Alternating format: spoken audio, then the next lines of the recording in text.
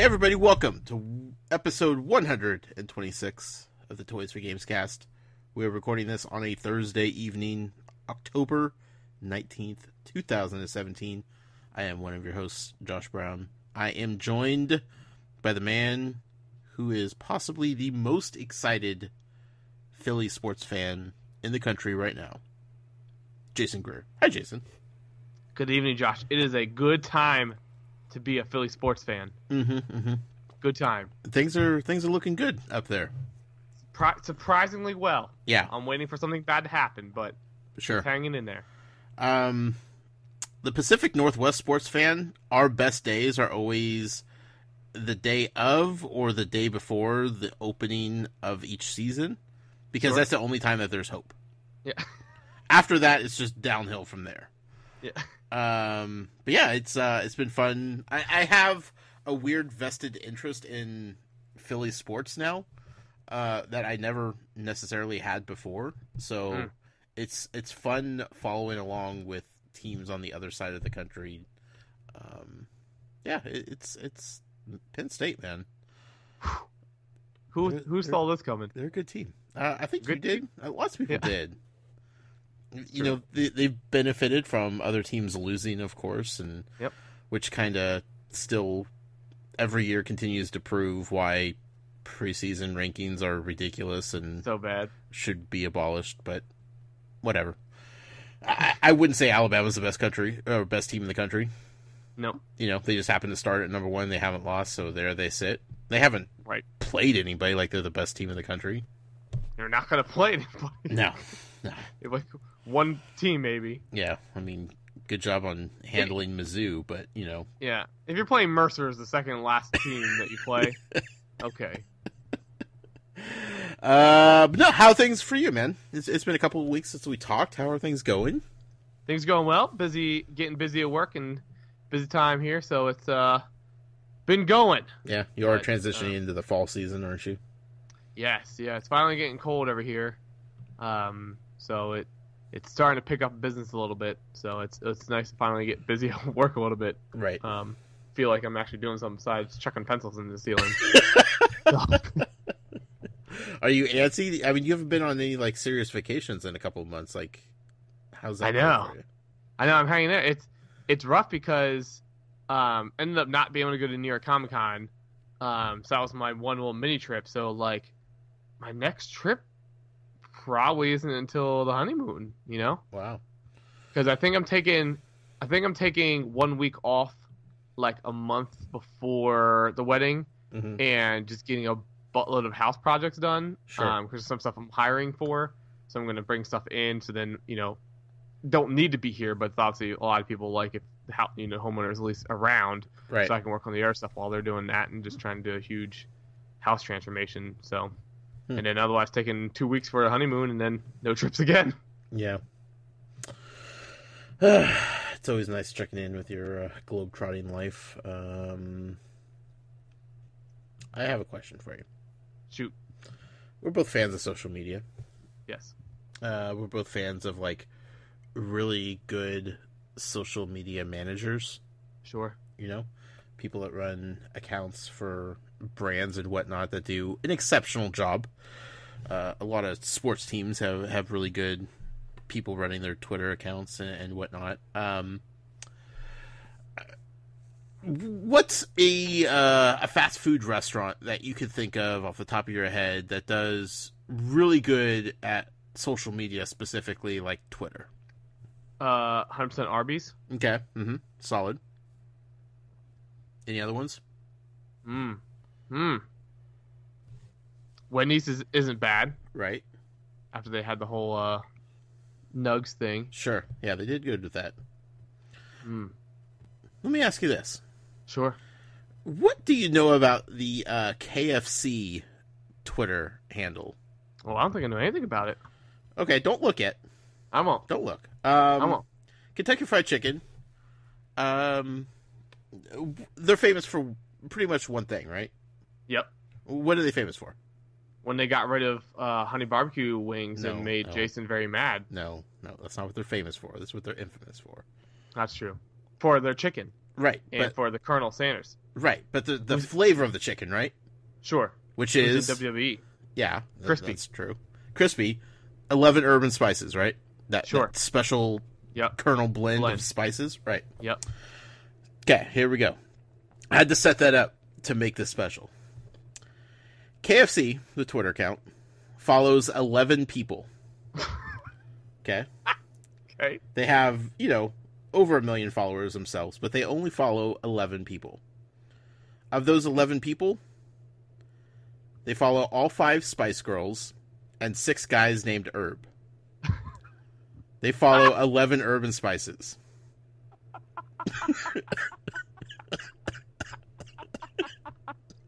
That's fantastic. Look it up. It's 100% legit. It's so amazing.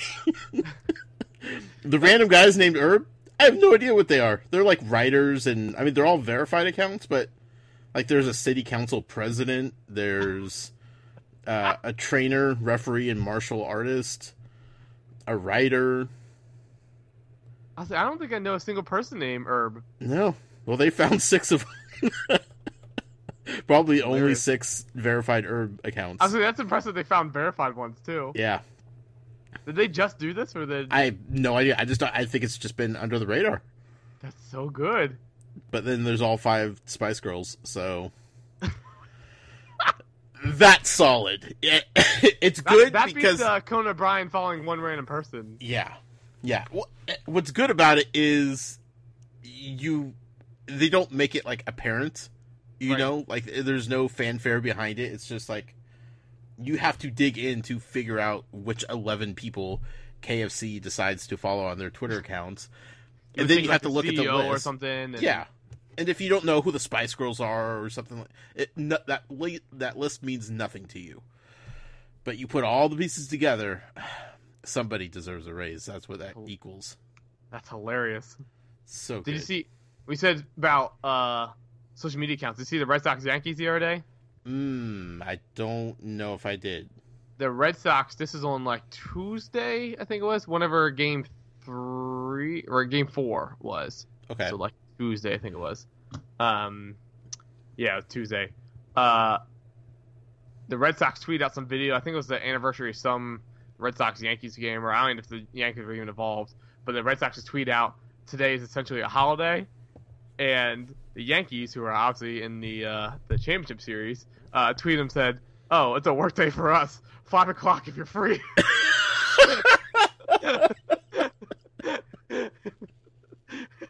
and they just tweeted back with their old eye emojis. The Yeah. Red Sox did. I'm Yeah. like, that's pretty dang well funny.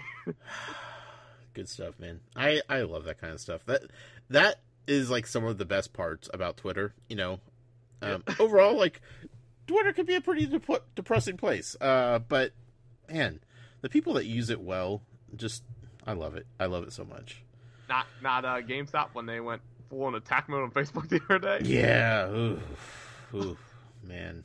and then tried to defend it. Yeah. Just sometimes you just back away from that kind of thing. Just Go get a cup of coffee and yeah. tap somebody else to come in. Yep. Tuck your tail between your legs and, and head out to the sunset. I don't know.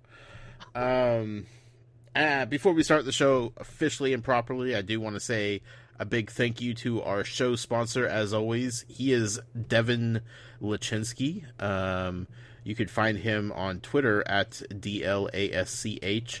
And uh, he just launched a new YouTube channel. Um, it's Macing on Gaming, uh, M A C I N G, then on Gaming. Uh, his first video he put up is a review of Friday the 13th, the video game, uh, Hmm. which he actually recorded at Crystal Lake. Uh, Really? Yeah. So if you're familiar with like the franchise, like that's a really cool thing that he did. Um, Fantastic. Yeah. Uh, so really cool over there. Um, I'll put a link in the show notes and everything like that. But go over there and uh, give Devin Laschinski some love and tell him we sent you, and I'm sure he would definitely appreciate that. So uh, thank you, Devin, and thank you to everybody that uh, decides to go check it out. Found out this week he's a PS4 system collector. Mm, mm-hmm. So uh, he had, let's see, one, two, I think it's five. Nope, seven PS4s. and Only one PS4 Pro. Sure. But of those things, but send a picture of the ones he has because he was bummed that there's two uh, um, Battlefront 2 PS4s. Now I posted the pictures of both of those, but the official blog posted US only shows the one. European shows two, so I don't know if Europe's getting the second one and we're not. I didn't dive that much into it. Mm, that would make sense once- though. Once again, uh, PlayStation's custom consoles are Not the not- best. not not the best. Not the best. Very, uh, it seems very much. Uh, oh crap, these are due today, and Yeah. done. Copy paste. Surprised they don't ever ship with like IGN watermarks on them or something. Yeah. Photo stock watermarks. I was telling, I was talking to Michael about that the other day, my brother-in-law, and I was telling my sister, and she was laughing, and my nephews were there, and they're both like trying to figure out what I was talking about. It was very hard to explain it to like an elementary kid, like yeah. what all this was, and they couldn't really see the logo because they didn't really know what to see, and you know it's a little bit of a complex thing you have to somewhat notice. Sure. But it was it was very hard trying to explain it. I think they started laughing just so they felt like included, but still the funniest thing. Yeah. Yeah. I yeah. Explaining that to a kid would be difficult. What a watermark is and why they exist. Never thought about that. Huh. Who knows? Um, well, before we start talking about the big news of the week, uh, which there's some big news, um, uh, depending on how you look at it. Uh, but first, you wanted to kind of give an update on the uh, status of Toys R Us, our favorite toy store. Yes. Yeah, so we got some uh, bad news the other day. Well, you can actually look at it both ways. Um, It it sounded like bad news at first. yeah, and I'm actually fully on board. Yeah. Um, so they did. It, it kind of ramped up out of no, I don't say out of nowhere, but ramped up fast. Uh, I mean, this has been discussions for what, like five years plus, probably. Yeah. Yeah. Um, saying it's gonna happen, and then all of a sudden it ramped up really quickly, and then it was like could happen any second, and then bam, it happened that night. Um, so Toys R Us did file for bankruptcy, uh, but it's important to note uh, this is something that like the modern age media hurts them um, because bankruptcy now has this um, inclination to it that means that they're like closing doors and Right. wrapping up, which isn't isn't necessarily true.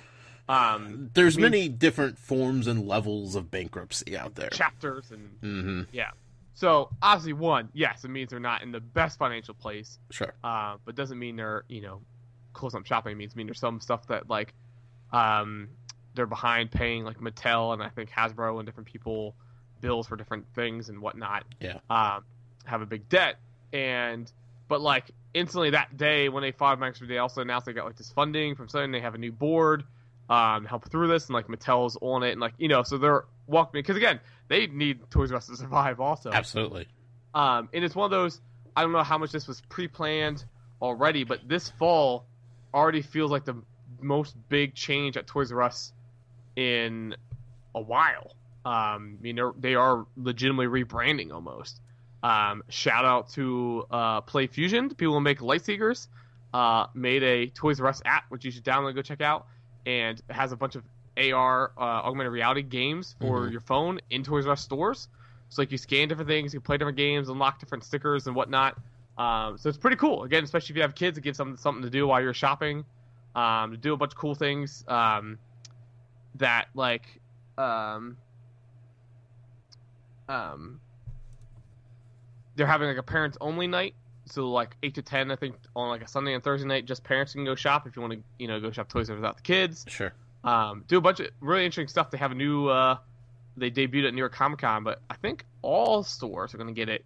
Um, they're going to have like a uh, um, pop culture booth per se in each store that's going to have like the latest pop culture things, obviously headlined with uh, pop vinyls Yeah. uh, and sometime and stuff like that. But again, pretty interesting change with it, and they're doing what they can to survive. They rebranded the website, redid it. Looks nicer. I don't like it as much. I think I'm just growing pains with it. Uh, sure.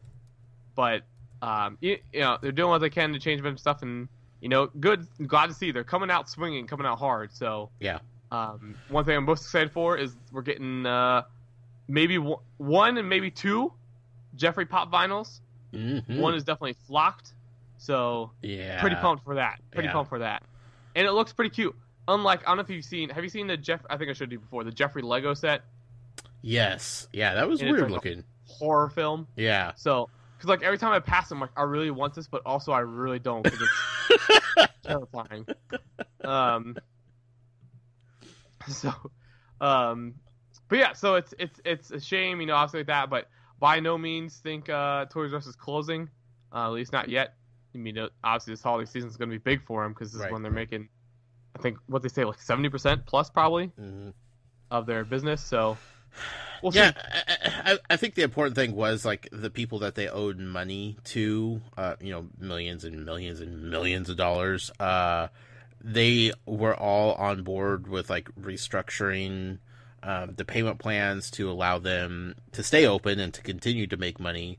Uh, which you know that doesn't always happen in, in Right. certain bankruptcy cases, and, and like you know the the creditors will say, "Hey, no, like if we're not going to get our money, we'll take money a bailout from you know the government or whatever and call it good," because they just want their money. But there is an interest with Mattel and these other big corporations that Toys R Us continues to stay open long term. That's good for everybody. So it, it, it did help that the people that you know they had really bad contracts with for years now that they've been suffering with um, are willing to work with them and, and make this try to work for everybody because everybody's kind of in the same boat here you know um, like you were saying the first time we were talking about this uh, a lot of it sure is online shopping amazon and that kind of stuff but there's also a, a very real swing into like this digital age where kids just flat out aren't playing with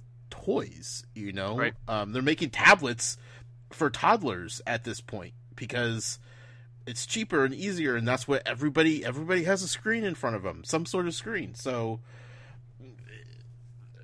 kids aren't playing with toys in the same way that they did when we were kids or you know when my kids were kids even you know it has grown so quickly that it is a different market out there overall. So to see these companies kind of band together to to help Toys R Us limp along um, is refreshing it's nice to see um, yeah we'll see how the holiday season treats them Yeah.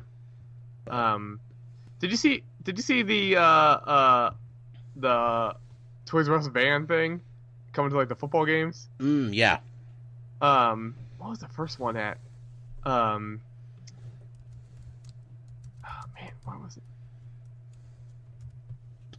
I don't know Oh yeah, that's right. It was first game Saturday was uh Texas Longhorns versus Kansas State Wildcats. mm. Okay, that's a big matchup.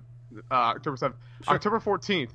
Southern Illinois Salukis versus the Iowa State Redbirds. Yep. Or the Illinois State Redbirds. Yeah, I mean, sure. I wanted to go to that game. I don't know about you, but And I was definitely gonna look for the Toys R Us van. But this is so random. Um, but and they're going to like Auburn and Florida and LSU and Colorado. Like all this makes sense except for that weird. I it was so random when I saw that. I'm like, they're going where? were one of those teams like a a champion in one of the lower divisions Maybe. last year? Maybe. It's the only thing I could think of. Yeah. Or one of the main Toys R Us CEOs like went to school there or something. Yeah. That's, that's the only thing I could think was that they have to have some kind of personal connection Yeah. there. Anyway, uh, you know, we we're we're all in favor of Toys R Us staying open. It's uh, a store I think both of us enjoy going to on a regular basis, and uh, it would be sad to see them go. But as of right now, everything still is okay. They haven't closed any stores. They haven't announced the closing of any stores. Business as usual. So, Yeah. there we go. Yeah, and they, I it, like their their PR blog. It seems like every day they're announcing something they're doing, and all stuff like seems sweet, you know. And I'm like, um, it's it's all like interesting stuff, and I've been on board. And this, I'm not criticizing the move. I'm criticizing the the timing of the move uh, on the 16th. So that was uh, Monday, Mm-hmm. whatever days. Uh, headline: um, Toys R Us plus Ed Ham or EDU Ham equals musical magic. Uh, as most pop culture fanatics like myself know, Hamilton is a must-see Broadway musical with heavy award talent. Blah blah blah. We're super excited that the Toys R Us Children's Fund, aka the charitable giving arm of Toys R Us Inc., has donated $1 million to Hamilton Education Program, innovative education curriculum, which Lin Manuel Miranda helped create in 2016 that focuses on. So, anyways, they're bringing like Hamilton music to like different schools, which is awesome. Yeah. But one, don't see how that really relates to Toys R Us per se. You know, like Sure. you know, so- but also, are you in a position to donate a million dollars to you know Yeah. financially you're in debt? Like I like I'm not criticizing them donating stuff, but like I it didn't really match up to you know something that Toys R Us would be Sure. associated with. I don't know. It just always seems weird. It's like it's always like that person's like, hey, I need help with money. Hey, I just got a sweet tattoo. Yeah. Okay, well, you just asked for money. Like, Yeah. Who, who knows? You know, it's hard to say. You know, I mean, that could have been money. You know, a while ago in, in funds and yeah, that Yeah. they've just put away and been waiting to to Right. give to them or set up or you know, and, and that sort of. I mean, I'm not a financial legal expert by any means, uh, but like charitable charitable contributions, like even if you're the you know taxes down. Yeah, like there's man, it's a whew, it's it's a it's a deep hole if you want to start going down into how to uh save or make or shave off a few pennies here and there. Trust me, I'm not. I'm not even trying hard when I do it, Yeah, and and it's all like it's just what TurboTax recommends. It's not even me being like sneaky with stuff, right. but it's just it's just funny the stuff that they're like, oh, make sure you exclude this. I'm like, okay, Yeah, I mean, can you imagine doing that with like a multi-billion-dollar industry company? Man, like I I sit in uh, our, our monthly meetings at my corporate office, and uh, we have two finance guys there. And sometimes when they just are talking about like different write-offs that they're doing or moving funds from one area to another, like my eyes just glaze over. I'm like, I, I don't even know what you're talking. Like, are, is the company still doing good? Yeah, all right, let's move on. Let's cool, you know. It's it's complicated stuff. That's why they get paid the big bucks, though. indeed. Um, Awesome. Sorry, this is complete random, Sure. Real quick, but news just crossed my Twitter feed. Okay. Lego Harry Potter Hogwarts Castle direct to consumer is set in 2018? Question mark. What? That uh, D2C is their big sets, like the Disney Castle Uh huh. and the um the Ghostbusters thing, Uh huh. like couple hundred dollar, couple thousand piece thing. Yep. Yep. Oh man, sign me up for that. Can I just like give my credit card now, or Yeah. like? Because there's there was a blog post, a rumor before that like uh, Harry Potter set's coming back next year. Mhm. Not not just Fantastic Beast sets, but like mainline Harry Potter sets, including a collectible minifigure blind bag set. But Oh. I would absolutely be on board with the Hogwarts. Woo! My. I have um, a serious interest in this now, Jason. Um, and you're making me all twitchy right now. Like this is uh, a year ago, I, I would not have cared so much, but um, hmm, Yeah. that's that's exciting. Uh, just finished the fifth book, by the way. I, yeah, saw. Yeah, Good stuff. Two more to go. Um, sad. I'm nervous. Uh, I don't like the direction of the story. I'll say that right now. Um, it's, it's it's it's not it's not trending upwards, Jason. I'm worried. I'm worried about a lot of things and a lot of people, but Mm. Mm. I don't know. anyway, uh, let's talk about the big news of the week, shall we? Let's do it. Uh, Lego Dimensions.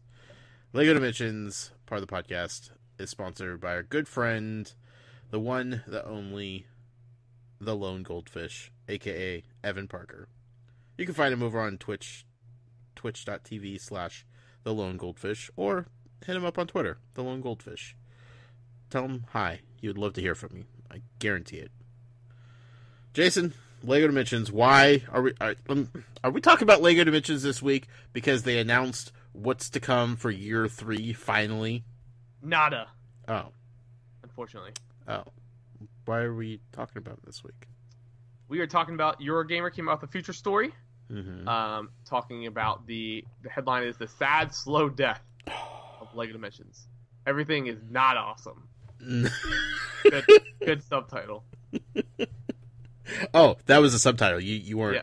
adding I didn't make that up. That's Oh, the actual it. subtitle of the article. good good Sub- on them. Subheading, I guess you might say. Yeah, uh-huh. I like that. Okay, let's uh let's break this down.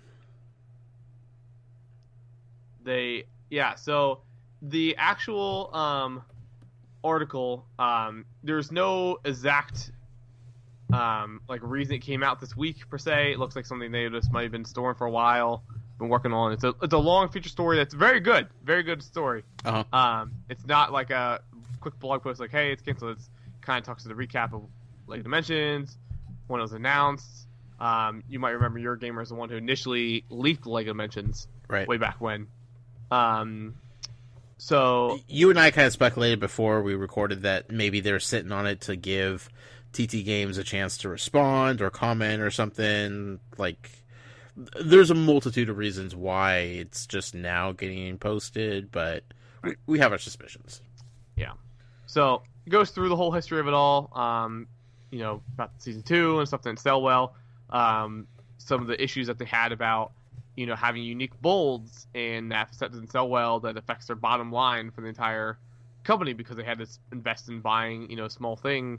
Because again, Lego is anything if not high quality. Mhm. You know, it, it's Yep. that's that's their main thing that keeps them alive. Like I've talked before, if you go buy like, I like Assassin's Creed had a Mega Block set, Yeah. and I'm like, oh, I'll go get that. Holy crap, the thing is awful quality. Right, Yeah. And I'm like, Lego, I mean, it's just cheap. It's just plastic mold. Think how much plastic you have in your world and how much plastic is cheap. And like, again, everybody says Lego's expensive, and obviously they could be cheaper per se, Sure. but like you're you are getting a high quality product. Yeah. There's any doubt about that. hundred percent. They put a lot of pride and uh, care into making sure that every time you buy a Lego product, it is exactly what you're looking for and nothing less. Yep. And like everything's gonna match together. Like so if you buy those Mega Box sets, all the plastic looks like that plastic swirl, like when they dump the fold in, there's like Mhm. white mixed in. You don't see that with Lego. No. Um, so again, they're talking about that. So, anyways, they're going through, and they specifically the the headliner of um, the article that grabbed a lot of people's attention, um, and then um, also Dan Becker over at Bricks to Life also brought up on it um, that he's had the um, email as well that he published. Um, was from Dave Dewson, uh, studio manager at TT Games, and this was actually sent all the way back on July 24th. Um, so this isn't something like said. It wasn't an email this week because that's what Eurogamer almost made it seem like that it was an email that was sent out like this week, um, or in that it was done and over with. Uh, but back July 24th says thanks so much to everyone uh, for making Dimensions possible. As difficult as it has been, it is worth celebrating the incredible achievement it represents in the quality of the game, the amazing blend of IPs, and the challenging technical demands it presented. It stands as a real testament to the talent within TT. Thanks, Dave. Hmm. Um, subject line re uh, re Wii U submitted. So I guess uh, Wii U was the last one they had to get approved for the patch update. Um, so again, it doesn't in the email flat say it's ending, but this isn't also a happy like, hey, good job, team. Can't wait to see what's next, or Yeah. about like it's it's very much that's a thing you write in a you know a thank you card. Yeah. Um, I mean, I guess, I guess here, here's how I see that email. Um, it's different than like an email that would have been sent to the people working on Disney Infinity because the studio was closing and everything was shutting down. Lego Dimensions team, like, they aren't losing their jobs. They're not. Their, their studio isn't shutting down. Most of them, if not all of them, had already been reassigned to you know either get the Ninjago movie game out and, and now are working on getting um, the Marvel Marvel Heroes 2 game out and then any other future Lego game products. Like everybody just got shifted over to different products and, and games. So an email wouldn't have to be like super sad and depressing of that game getting canceled per se because nobody's losing their job. They're just working on something else now. So it's definitely a different tone in the email than I think people are expecting to see, and I think that's why there's like still some hesitation to like fully be on board with the game being canceled because they're just like, well, the email didn't officially say anything, and it doesn't sound too sad or anything, but it's like, well, what is there to be sad about when they get to come in the next day and still have a job? Yeah, right. you know. yeah. And yeah, because a lot of people are saying like, well, it's not canceled. They just they just they could revisit at any point. Well, it, anybody could revisit anything at any point. That's not like an argument per se. You know, like yeah, it's yeah. And as, as and Eurogamer specifically said in there that says there are no plans I've heard to formally announce the end of Dimensions, especially as the franchise nears its last Christmas sales season. Eurogamer contacted LEGO Dimensions publisher Warner Brothers for a comment on this piece and was told the publisher was continuing to quote look at the future product slate. Like, okay, okay. Um, and again, yeah, theoretically they could come back in two or three years, but like if they do that, it's going to be completely different. Like, I don't think they would reuse anything from this one because they're not going to expect anybody to have the old stuff. You know, what I mean, to Right, be a whole separate thing or a new heading. You know, I mean, I, they're not going to go back and use this branding. yeah, Um, so, yeah, again, to be crystal clear, Lego Dimensions is canceled. It's done. Um, but, it, you know, I, I again, I we were joking before, and like, who knows if they're going to announce when they're going to do it or not. You know, they might just one day just take all their social media accounts offline and poof, there it goes. Yeah. You know? Yeah. Wouldn't be surprised Um, at all. It, it it it does suck because I think people want closure and they want just that that final announcement to say, yeah, it's done. Thank you for everything. We're moving on to making more Lego games, so we're all good. I, I think people just need that. Some people need that before they go and sell or get rid of, you know, all of their figures and everything because they don't want to hold on to them for the rest of their lives. But without that closure, like there's still that, well, man, that would suck if I got rid of all of this and then they come back next year type of thing. Right. Like I get that. I understand that. And that's why you and I both have been big advocates for months now of them just coming out and saying, "Hey, we tried. We made an awesome game. You guys loved it. It was fun using all these IPs, but financially it's just not you know, worth the development anymore. Um, you know, the the genre has peaked. We're moving on. Thank you for everything. Lego Dimensions was fun, but you know, it's over now and off to something else. Like that's that's all we wanted to say, you know? Right. Again, it's not a s as sad of a story as Disney Infinity was because the game got canceled, the entire studio got closed, all those people lost their jobs, and it was all just a whirlwind of just like immediate, like it blind blindsided everybody. Yeah. It, it- even like people within the industry were shocked by it. Yeah, I mean, people were starting to understand it when more and more came out. The numbers came out as far as, I mean, I, I will go to the grave saying the people that killed her are the people who ordered the figures. I mean, that's that's what it makes it seem like. The person who like they specifically mentioned the Hulk figure, how much the Disney Infinity themselves ordered production of that figure and just couldn't pay that much. You know, what I mean, if they wouldn't, if they would have went Nintendo route and tried to make it a little bit more limited, not even in that extreme, you know, even fifty percent of the number of figures they had, they would have done much better. But yeah, Um, everything I'll say, uh, I mean, the one thing we were holding out hope for um, is that whether Vortech was going to show up or not, um, and that is officially gone as well. Um, uh, as Eurogamer says, year three we've heard would have featured a return to Lego Dimensions' original universe, crossing storylines starring fan favorite villain Lord Vortech, voiced by Gary Oldman, and TT Games previously hinted to Eurogamer that Vortech was being planned as a special figure release. We've heard Vortech's pack was originally planned to be the last of year three to wrap up the whole series and perhaps unlock access to all the game's worlds. Later, after year three was off the table, plans shifted and Vortech was considered as a uh, finale pack to wrap up the franchise after year two before being dropped altogether. And that, I mean, that would have been cool. Like it was, and that's what people wish Disney Infinity was that there was going to be like a master key at the end. You just drop it, and it's unlocked everything. right. Uh, that would have been a really cool release at the end. Like, here you go, have fun, everything is unlocked. yeah, But. And some people said like it could still show up in like a minifigure set, and like it could, but also like what what would it be in? You know, they're not going to have a Lego Dimensions minifigure right. set. You know, I don't think so. Yeah, Um, I mean, it'd be hard to get all the licenses aboard for. I mean, as popular as those little minifigure sets are, I don't think they could make their money back on that. Sure. I, the and this is like a pie in the sky dream scenario type of thing, but the only thing I could think of would be is if they work towards a Lego Movie 2 and Yeah. that Lego Movie 2 brings in all these Oh, different gosh, that IPs awesome. that they have from Lego Dimensions, you know? Um Yeah, I don't know if they even announced what Lego Movie 2's plot is. yeah. So, and they would need a new villain. Like, I- you know, that would be a villain that's already established in their universe. That's you know solely theirs to use. Again, pie in the sky type of scenario, but uh, other than that, like, wh- how else would it happen? You know. Mm-hmm. I don't know, man. We've been saying this for months. The writing was on the wall for a while now. You know, once they started to go silent about everything that was coming out, um, the future past, you know, the last wave that came out, year three, like they didn't show up to E3, they had nothing to say there.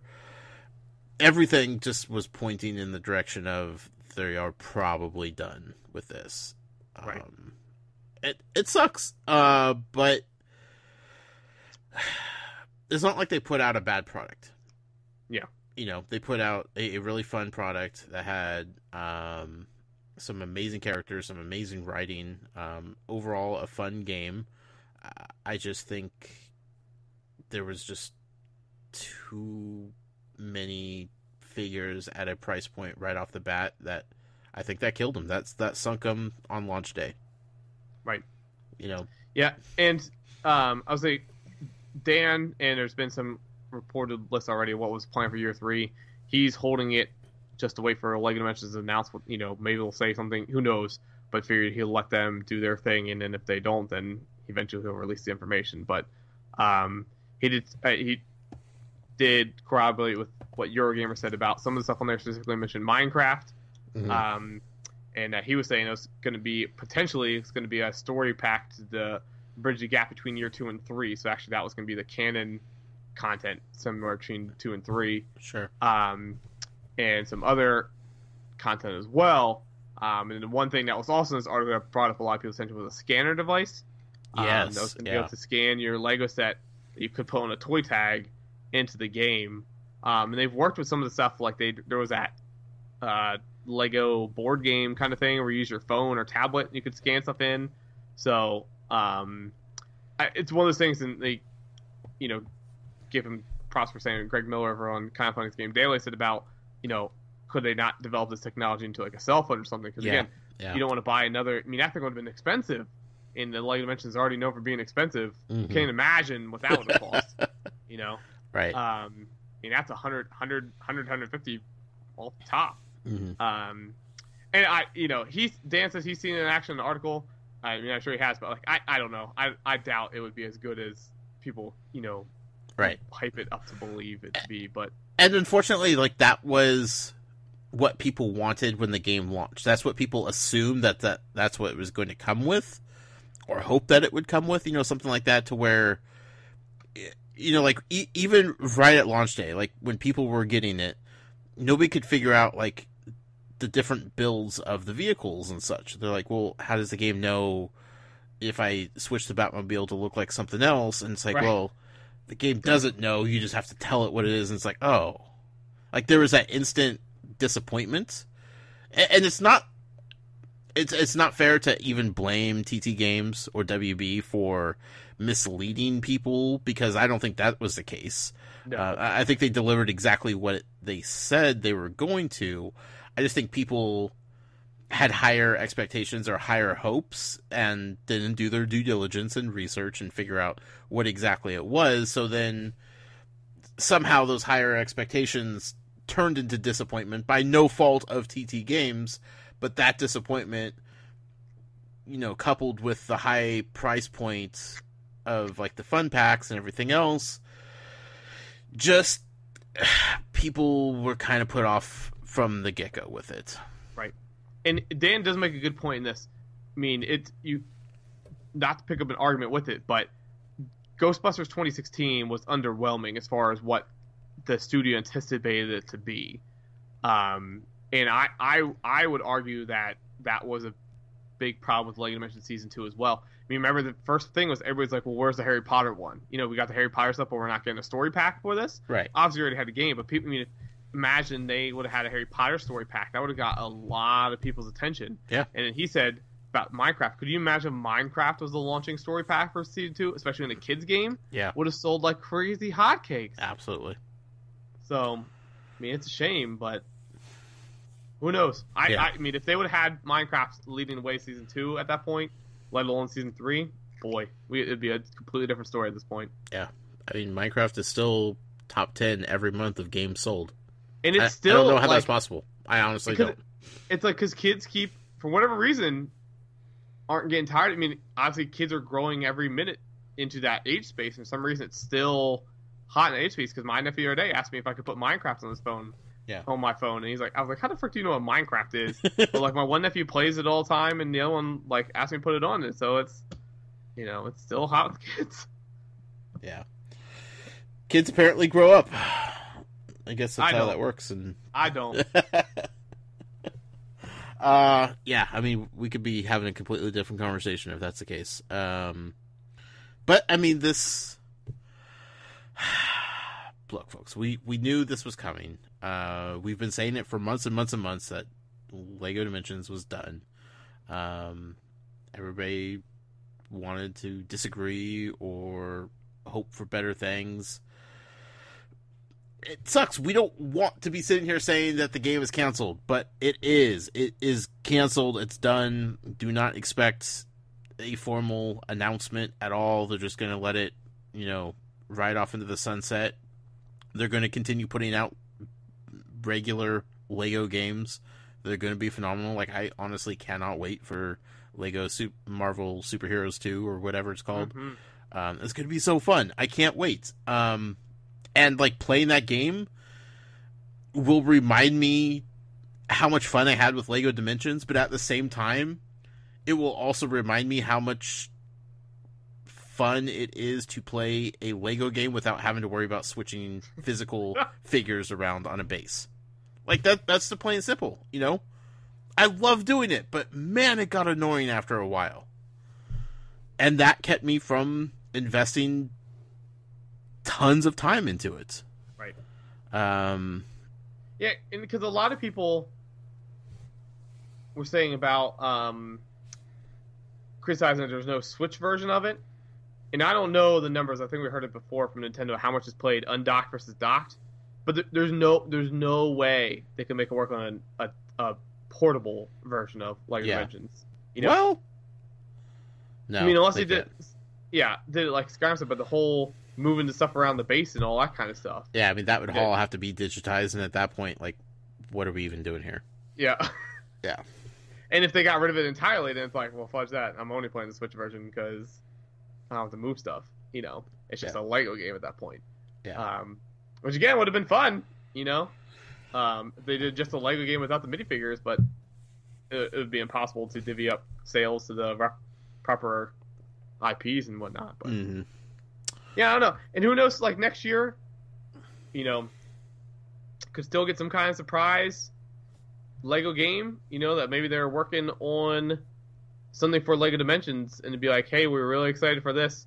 Sorry, we can't do Dimensions, but can we just do a full fledged game? Yeah. You know, who knows? Absolutely. Um so that's that I say- folks. I will say real quick. Yeah. Um, the email that was it was to um uh to the project team, like the the um like the different teams that were working on Lego Dimensions, but the uh the group names wasn't like Lego Dimensions art or whatever it was. It was their project name, the code name, and it was Lego Dimensions code name working title was Opus, O P U S. Okay. I expanded it to octopus, thinking that's what it meant. But like opus is an actual thing. One, it's like a, a web comic from a while ago, and also it's for a musical set of musical compositions. Mhm. But if it was short for octopus, that's a fantastic code name for Lego Dimensions. You know what I mean? yeah, yeah, I 'Cause, like that. Each separate tentacle. mm-hmm. Would make sense. Yeah, no, I got you. So, I got you. so I'm hoping it's short for octopus. I don't think it is, but I'll give him credit anyways. We'll say it is. Make us happy.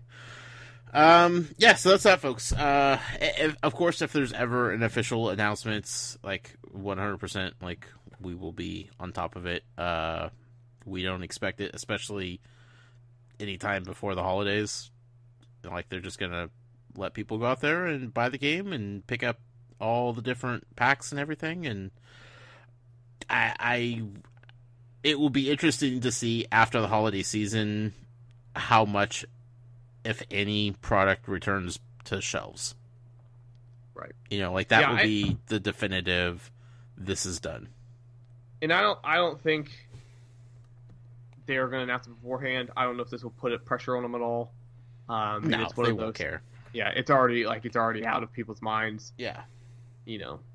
So they're they're definitely not going to announce anything, but you know, uh, expect um, sales and clearances, and um, we will definitely keep you up to date on on what stores have you know start putting them on sale and that kind of stuff. But once supply is like gone through the holidays, like I said, if you don't see 'em- anything new come back on shelves, like they're done. They're they're not making Yeah. anymore. So the only thing I could think of too is like they could sneak it into a developer interview with like launch around window of the Lego the Marvel superheroes game. yeah, You know, just randomly, just like feed you know spoon feed them a question and then they just confirm it and like oh yeah unfortunately dimensions is over blah blah blah and it's maybe. But I. I think that that would have been done like around the Ninjago game, since Ninjago were actually in Lego Dimensions. right that's you know, like that would have made more sense. but was the final wave out yet Hmm, I don't remember the timeline. I, I can't remember either Yeah, hard to say. But yeah, maybe. Uh, who knows we'll see. Um, you know, you'll definitely hear from us if if that official confirmation does happen. But I, just don't think that there's any reason for anybody to have doubts as to whether or not there's going to be any more Lego Dimensions going forward. So yeah as sad as that is, like it's it's the harsh reality. So here we are. This is where we're at. Where we're at is pretty much the last uh game franchise standing. Amiibo. Who saw that coming? Good job Nintendo Who saw that coming? Amiibo part of the podcast is sponsored by our friend Michael O'Driscoll. You can find him on Twitter at Amiibo underscore museum. Um, as I've mentioned many times before, Michael's wife uh, is a singer, is a uh, recording artist. Do they still use that term? I think so Okay. Uh, it sounds I've like a, recently. in my head. It sounds like a very dated term. you know yeah musical recording artist. Uh, her name is Anya, A N I A. Um, her album is called And the Light Comes In. You can pick it up on iTunes, but if you want to hear it uh, first before you buy, you could uh, check it over, check it out on Spotify. Um, so Amiibo, we still have Amiibo things to talk about, including uh, the most unceremonious release of Amiibo to date, which is tomorrow. Yep. Yeah we got uh don't forget your Fire Emblem There's still more coming More Fire Emblem. coming out tomorrow Fire Emblem Warriors I, I the only reason I care about this game Mhm. is it's not in my market, but the Toys for Games Twitter account tweeted out that uh, Nintendo Switch games are in select markets and Redbox. yes, Hundred percent would rent Fire Emblem Warriors for a night, and I Yeah. would get my enjoyment out of it and be done. is it? I think it's a 3DS game, isn't it? No, it's a it's a Nintendo Switch game. Also, Get It's outta a here. crossover. Yeah, Is it really? yeah. I sw- I've had it in my head this whole time that it was only a 3DS game. No, it's both. How about that? Huh. Fantastic. Yeah, I think it's both the same. Yeah, same day. Wow. Okay. Awesome. Yeah. No. Um, Uh, I, I I was at Redbox like a week ago, and I like looked up and there's a sign. I'm like Switch games, and I went to the menu, and sure enough, there's a whole selection of Switch games to rent. I as far as I search on Google and Twitter, I didn't see a single like you might have broke that news. I don't think I saw a single other person reporting it. That's fantastic. Yeah, I when I took the picture, I, I did a brief search and I'm like, I don't remember ever hearing or seeing this, but yeah, whatever. We'll go with it. So if you have one in your area, go support it so it comes to my area. Yeah. Because, and again, a lot of it's like eShop titles, but like there's so many Nintendo games where I would like, and I know it's like a 3DS game, but like that that new Mario Luigi game that came out for 3DS. Oh yeah. hmm Like I I want to divulge many hours into it, but I would probably play for three four hours and be like this was fun, Sure. you know. The, and that's like the same thing. As, Pokken Tournament DX. yep, that too. Yeah. um like so many games that like i'm not saying they're bad games by any means they're just not my games Right. but i still want to enjoy them for a little bit Or even a game like uh, Mario plus Rabbids Kingdom Battle. You yeah know, like 100%. there's no demo for it, but that's definitely not a game that people were clamoring to buy. Like, unless you listen to a lot of podcasts and whatnot, like it, it would be something that you'd be very wary about. So being able to check that out at Redbox for a night, pay the three bucks, be like, yeah, that's a game I really enjoy, and then you could go pick it up, um, or say, nope, you know what, that's definitely not a game for me, and and move on from there. But right I love that option. Yeah, I mean i was just talking to um bro michael the other day about golf story and stuff Mm-hmm. um because it's such a fun game Mm-hmm. but i don't think it's a game for everybody you know Yeah. and it's it's hard to describe like i love the game it's by far I'm surprised you're playing it, to be honest. I- I've clocked so many hours in that game. That's I so think I'm cool. like 15 hours into it, which is Yeah. the most I've put into a game in a while. Right. Um, and every night I play for like 30, 40 minutes, and then I put it back down, Mm-hmm. um, get my enjoyment out. But the other thing, like I don't, I don't know what kind of person it would be for.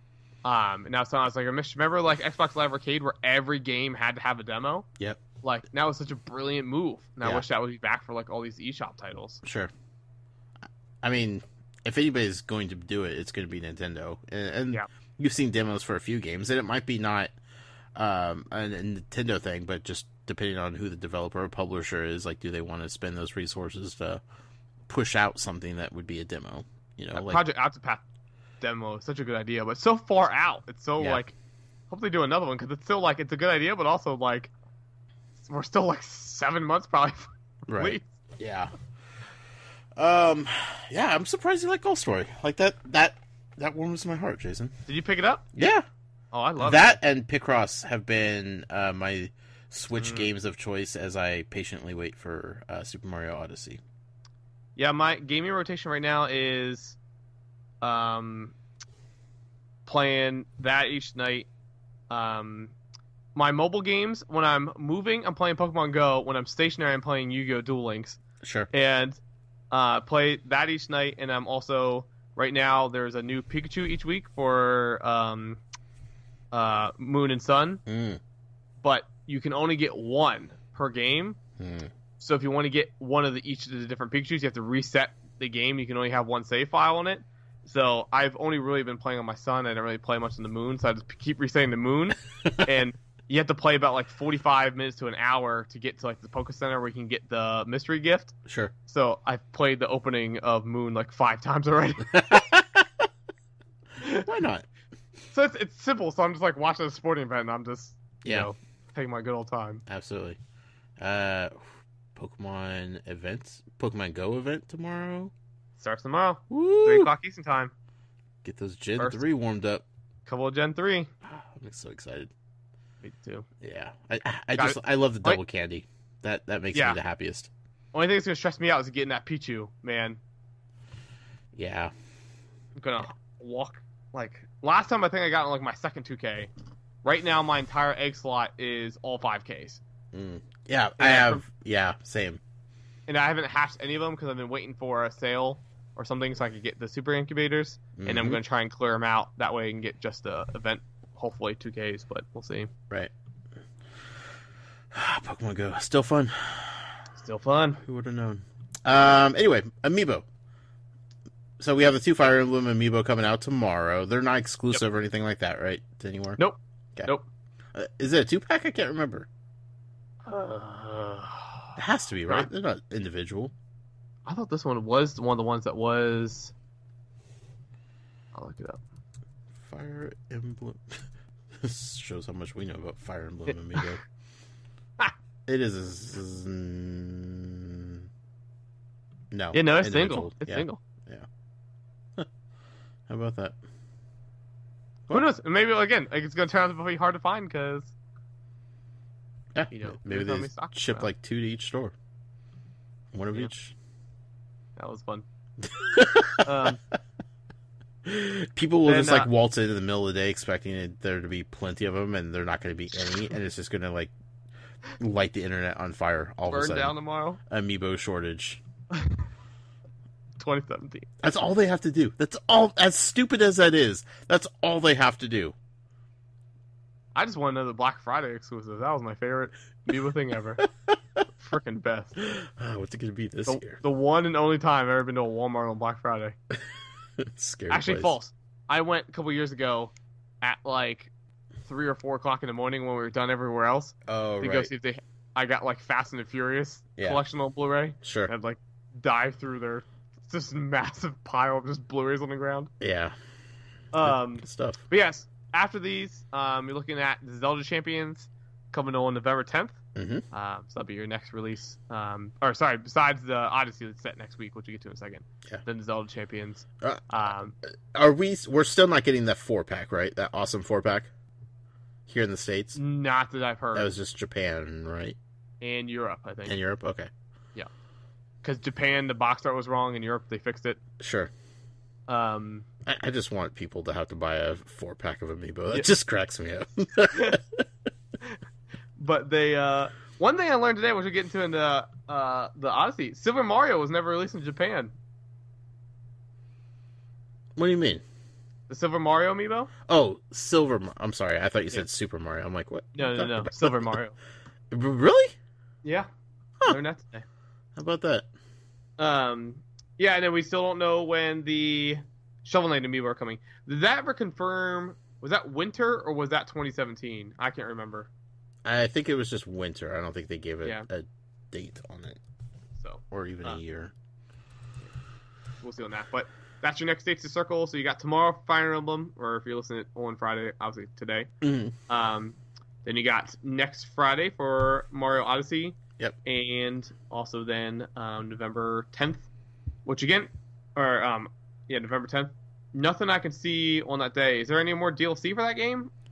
Um, they said it was coming in the winter also, but I don't think they Yeah. officially announced the.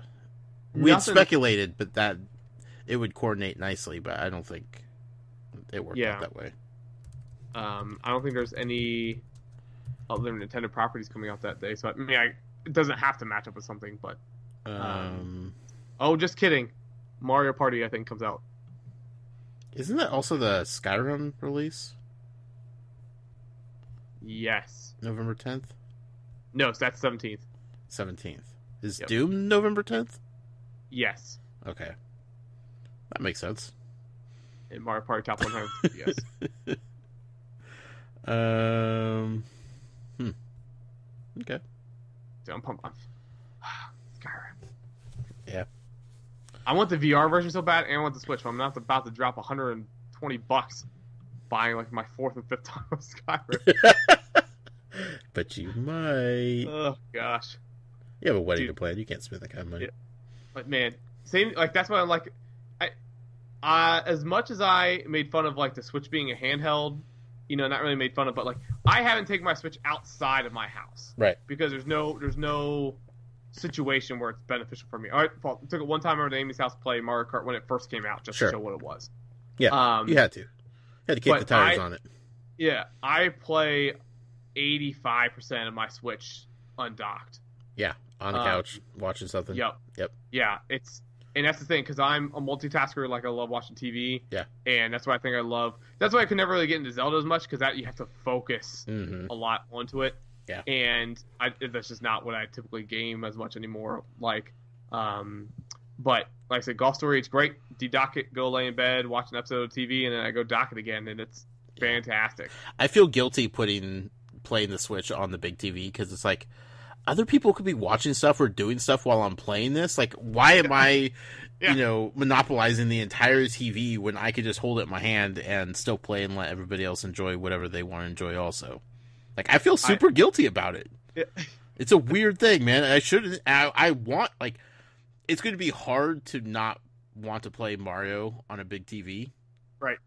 But same thing. Like, I'm going to feel guilty about monopolizing the whole TV for that. So, we'll see. I'm not. I'm not when uh when a new Pokemon game comes out. hmm I'm like, I'm tired of it being on a handheld. I'm ready to play it. Sit back and play it on a console.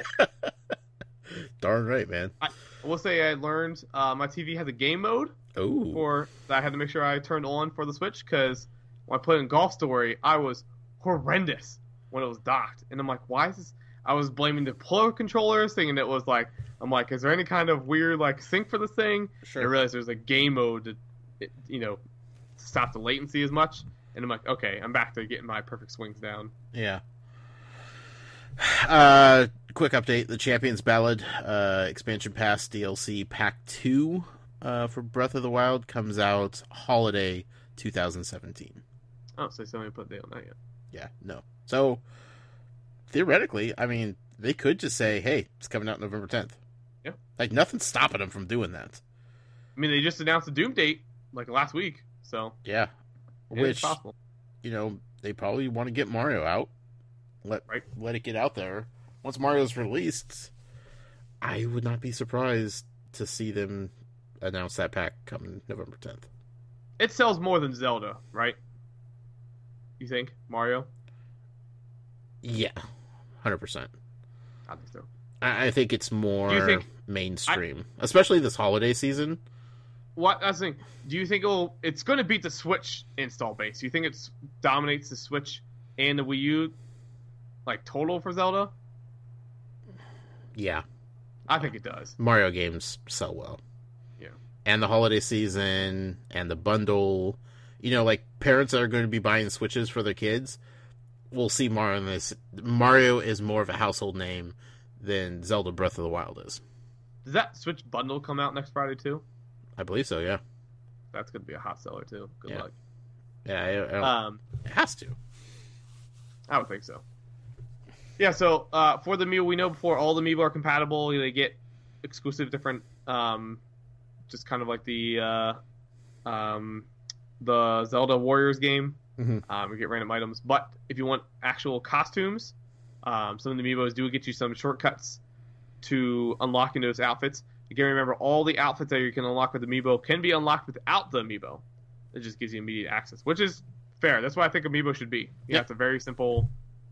No one can complain about that functionality. Um, so all the ones that are um, obtainable. Again, I assume it's going to be something based on that character, maybe just that one entirely. But um, you got these will be all Super Smash Brothers ones um, for Mario, Peach, Luigi, Diddy Kong, Bowser, Dr. Mario, uh, and Wario. From the Super Mario series, you got Mario, Luigi, Peach, Bowser, and Gold Mario and Wario, um, and Diddy Kong again, and Waluigi. Waluigi. Um, Waluigi, sorry. it's okay. and that's what that's what I learned because I saw someone's like, "Where's Super Mario?" I'm like, "Yeah, where's Super Mario?" Apparently, it's never released in Japan, so they it's not. It could be on the U.S. version. The source for this was from the Nintendo Japan website. The, Sure. The, your uh, U.S. version of the site has not listed this information yet, right. so it could change. But that's when I learned. I'm like, huh, who knew? Was it- Um, would it surprise you if Nintendo was just like, we didn't put out a silver Mario? What are you Yeah. talking about? Because that was so weird. It's still so weird. Yeah. and then um, both um, 8-bit amiibo. Now this is the thing. I don't think we've seen that yet. Like if it turns Mario actually into like an 8-bit 3D, like it looks like the amiibo, freaking playing with that costume all day, every day. Yeah.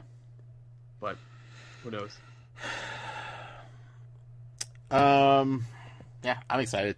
The amiibo look great. All all the upcoming amiibo look great. Uh, and I, I think, and this is something that was a point of contention early on from the release of Amiibo that they weren't tethered to a game. They weren't important. They weren't necessary. They were just add-ons, you know.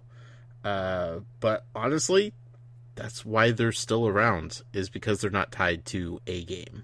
Right. You know, the fact that you could use any Mario, any of the million Marios that you have can be used the same way in several different games because it just registers as Mario is the reason why Amiibo is still around.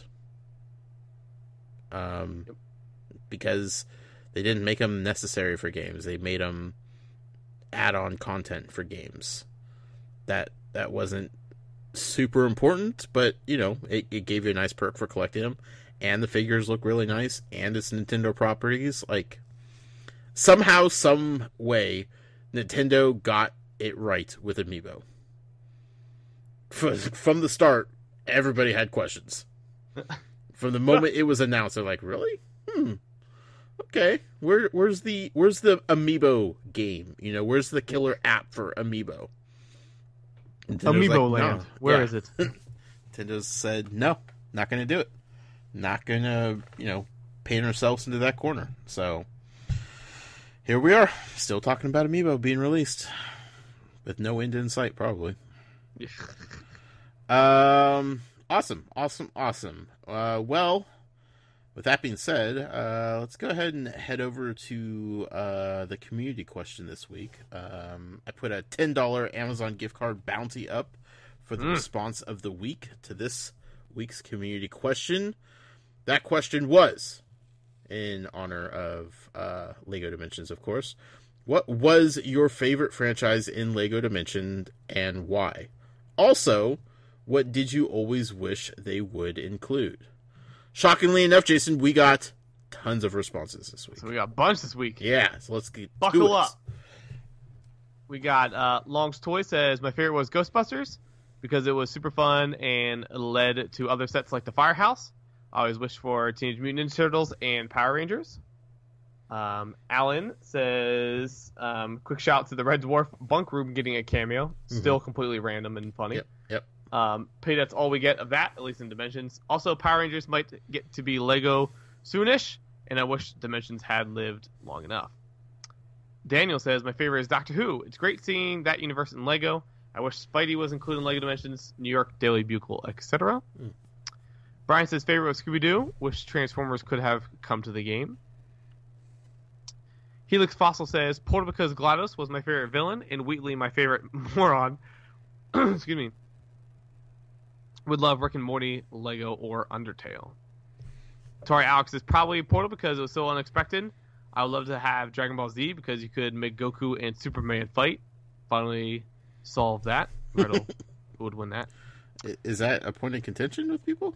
Oh yeah, who would oh. win, Goku or Superman? Uh, okay. My lack of Dragon Ball Z knowledge is astounding, dude. It's so good. Apparently, Super is going off the wazoo. Um, super good. I've been trying to stay spoiler free because I'm trying to get caught up in the English version, but it's mm. like 20 weeks behind. So I'm like, and everybody's just reading the subs on the Japanese version. So I'm right. like, I somehow I haven't gotten spoiled yet. But all I know is I think we we went years with having like Super Saiyan, Super Saiyan two, Super Saiyan three. They had Super Saiyan four. I think they've had like 18 versions of Goku in this season. Like every week, it's like, oh, now he's Super Saiyan blank, and I'm like, okay, feel like you're all going too crazy here. I don't. Um, I don't know what anything you just said, but I fully support it. uh, Jeff Grimes says loved all the original Ghostbusters figures because they were all classics. Uh, wish we could have had Bill and Ted or Blues Brothers. Um, also, forgot to say, Dragon Ball Z Fighters Game of the Year 2018, and I'm going to be terrible at it, but it looks freaking great. It does look really good. Uh, Matt Upton says, I still haven't got um, quite into it yet, but Mr. T will be my first additional pack. I pay the fool who doesn't love collecting toys to life. Uh, oh, Firefly would have been awesome. Uh, would have bought an instant if they had been a part of it. I think we brought it forward. Did you ever watch that series? Nope. It's one thing that uh, people continuously harass me yep. about. Um, I just no interest at all. Hmm. I like. I want to watch it, but I feel like I'm gonna not. Is this gonna be a letdown kind of a thing? Yeah. Like, oh, that's what it was. Yeah. But So I- I don't- gonna let it I- live I- in my brain. I wonder how it's aged. You know, like for people that sure. watched it back then, I'm sure if they watch it now, like there'll still be that nostalgia that will keep them happy watching it. But a newcomer walking into it, I I, I worry that it's just not going to hold up. Yeah, that's fair. Um, Cube Conqueror says my favorite was Portal due to it kind of being like a trailer for the third game, which will never be made. Um, and I wish Zelda was in the game. Smart guy one five two says I wanted a Lego Doctor Who game before Dimensions, so it was my favorite. I also wish for a deal for Marvel figs after Disney Infinity ended. Ben Anderson says I wish they had included SpongeBob as they already have. Oh, sorry, right out of order. Favorite was Simpsons because of the dialogue they had, and having them in a kid-focused game is still amazing to me. Still very true. Yeah. Um, I wish they had included SpongeBob as they already had character molds, and watch them interact with other cartoons would be funny. The Lone Goldfish says of Oz because uh, both of the best character and the sheer absurdity of its inclusion. That was still completely random. Yeah. And that we started out like that was the first place you went to. Right. But uh, Grizzly Knox says Powerpuff Girls simply because I grew up on the show. Mighty Morphin Power Rangers uh, would have been perfect. An epic battle between the Megazord and Stay Puft is the kind of crossover we need and deserve. Mm. Also, did he get the 240 character expansion? He must have. Yeah. Totally. Because that's a long tweet. Yeah. Grizzly Knox, how'd you get in that list? Even though I'm not a fan of it, but good job for being on that list. yeah. Uh, my favorite franchise. Oh, sorry, this was OMG. It's Brady J. Uh, my favorite franchise is Doctor Who because I have good memories watching the show with my dad. I wish they had included Sherlock as well, as I believe there would be cool riddles, puzzles in that level. That would have been interesting. Uh, Gator Bat says, I totally dug all the 1980s TV slash movie love. Sure wish the Power Rangers hadn't made it in. Lightning Star SC says, the Sonic level pack was actually well created, almost like an actual Sonic game. As an addition, Phineas Ferb would have fit in well here. That's also true. Yeah. Uh, Phoenix back for fur. Well, man, I screwed that one up. Phoenix back for fire. Close. Close. You almost Sorry. had it. His, I forgot he doesn't have the E on the handle, and Yeah. I apologize. I apologize. uh, uh, Sonic solid game slash story. I wish they would added uh, Ash Pikachu as a team pack with Officer Jenny's motorcycle and a rideable Charizard. Still get bummed that Officer Jenny's not like in Pokemon Sun and Moon. Like I, I went to the police station, I'm like, oop, Officer Jenny time. I'm like, oh, she's not in here. Nope. Denied. Uh, Snowguard77 says Marvel and Star Wars would have been nice, but thanks to that deal with DC, that was never going to happen. Uh, Star Wars Pop Fan says My favorite franchise was The Simpsons because I liked how closely the level followed the episode it was based on. I wish they would have included Close Encounters of the Third Kind because the story would have lent itself well to a level pack. Hmm. First time I think we've seen that recommendation. Yeah. Uh, DMU Girl 2008 says Doctor Who was my favorite. It needed a full game. I always wish they'd uh, could have done Lego Disney. Yeah. As do we all. Mm-hmm. Nathan Chandler says favorite was Portal. It wins the most unexpected award. Um, I thought Pepper and the Brickster from Lego Island Games would have been awesome. Absolutely. Yeah. Uh, Sure. Shandali says also, also, can we just pause right there and say, when we broke that portal news, like that was the craziest night of Lego Dimensions ever. I almost I almost wanted to go back because remember all those people that like made fun of me saying it was shoddy journalism for that, and Yeah. also shoddy journalism for Sonic. Yeah, Uh, I was two for two on both of those, so you all Right. can shut. Also, Gremlins. it. You got that right. Y'all better listen to us. We know what we're talking about. Um. Sean Dolly. Uh, Yeah. Sorry. I was just also thinking. I was thinking the other day. Remember that time we got the embargo for the uh, Captain America figure, yeah, and they never gave us the picture of what the figure was. right. So we did the whole episode not knowing what the figure looked like. Yeah. oh man. Anyways, uh, Shundoi says favorites are Doctor Who and Sonic. Never expected them to be in Lego sets, and love that they are part of a project as big and fun as Lego Dimensions. Wish it would have had included Looney Tunes. It baffles me as why it wasn't considering its characters are so well known and it's owned by WB. Yeah. True story. That's true. That is. I don't know if they still release them. or not. There was a Looney Tunes like platinum editions they've been releasing on Blu-ray, uh, which were like super good, high quality. Yeah. they were like in a digibook, and I think I bought like the first two, and I don't know if they ever released. I think they released the third one, never got it, but wish they would have continued those collections. Looney Tunes. Also, did you see like that classic cartoon service that's Boomerang? I think it is has one out now. No. There's a um, man, classic cartoons subscription. I don't know if the Looney Tunes are on it. Um, it might be. There they are. Five bucks a month. Uh, stream classic and cartoons over five thousand cartoons, especially live. Includes Looney Tunes, Scooby Doo, Bugs Bunny, Tom and Jerry, and more. Does it include Nickelodeon or Mm, Disney? No. Dang it. Not worth five dollars then, folks. Yeah. Uh, you can also get a forty dollar yearly membership, which is on to three thirty three. Nope. Jetsons and uh, it is. It does not appear to previously. Oh, this is a bunger. This is from uh, Verge article back in April, so things might change by now. But it says it does not appear that the previously advertised shows like the Jetsons and Flintstones are available at launch. Those expected to be added soon. Whoops. Yeah. Well, That's a good way to launch a product. two of the biggest cartoons that we ever coming are not in it. It's one of those things like it's. I'm like, yo, I would love that, but it's like I, I would watch it for like a week, and Yeah. I would never. There's just too much content out there now. Yep. Of all um, sorts. For a winner, I was gut feeling Power Rangers. There's a lot of people that said Power Rangers, hmm but I think, I think, I think Ninja Chandler said the best. Portal one's most unexpected. Yeah. Up till Sonic. Yeah. But uh, still, you can still make an argument that Portal's still more unexpected because it's been not in the general realm of conversation in years. Right. I mean, Sonic was in Smash Brothers. You know, like Right. Sonic gets And There's new around. games coming out. Yeah. He's in the Olympics all the time. But who would have ever predicted Portal, the Portal video game, would be inside another video game? The- From the company of Valve, who Yeah. doesn't recognize it anymore, except for when they teased us with that dumb Half Life patch Right. randomly the other day. Yeah. But also keeps their IPs on lock. Completely. Until that guy randomly posts out the Half Life 3 script. Yeah, whoops.